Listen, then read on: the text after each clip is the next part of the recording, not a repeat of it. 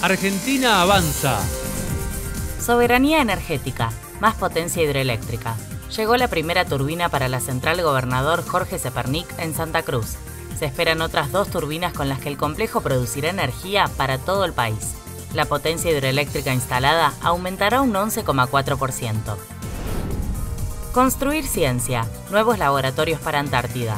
Se construyeron tres laboratorios para las bases antárticas San Martín, Orcadas y Esperanza. Se trasladarán y emplazarán en febrero de 2023. Fueron diseñados totalmente en Argentina con materiales nacionales. Argentina avanza.